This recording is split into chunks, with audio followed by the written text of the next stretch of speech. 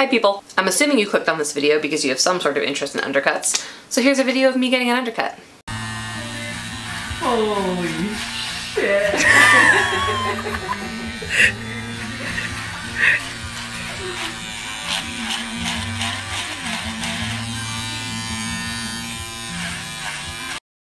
There's a couple things you should know about getting an undercut. Um, one, the back of your head will get cold. It's a new thing for me. I got the haircut because I like the way it looks. Uh, I wasn't really expecting other people to have such strong opinions about it, but uh, be prepared for people to ask you these questions. Oh my god, what happened? Were you like in some sort of accident? No, no, this was a um, this was a conscious decision where I asked someone to intentionally do this to my hair. Are you going through something? Yeah, actually, I've been questioning a lot of things lately. Mainly, what is the point of plants? Holy crap! That's not a question. Does the back of your neck get cold? Yes, actually, it does, yeah. Are you having like a mental breakdown? And I um, actually don't feel comfortable talking about this, so thank you. Goddamn plants! You think I'm joking, but I actually have been asked every single one of those questions, so.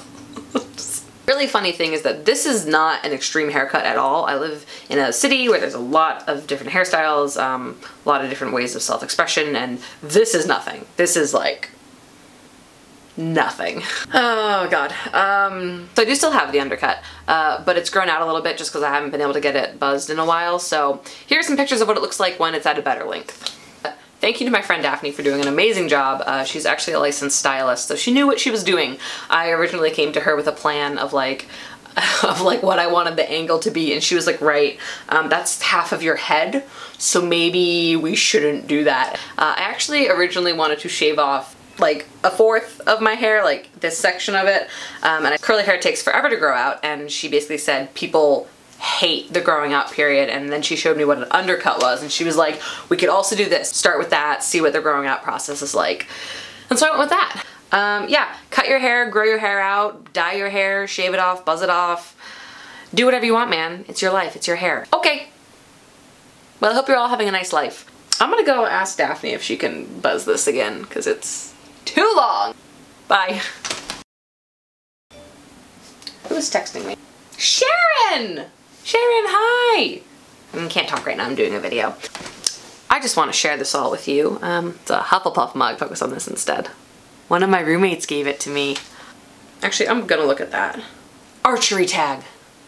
Sorry, I just... Welcome to summer. The curls have gotten tight. Here, everyone seems to like this. I don't know why. But I feel like there's probably some YouTube rabbit hole you can fall down of like people boinging curls. Y'all happy now? That's weird. Just so we're all clear, lettuce was invented to make us feel stupid.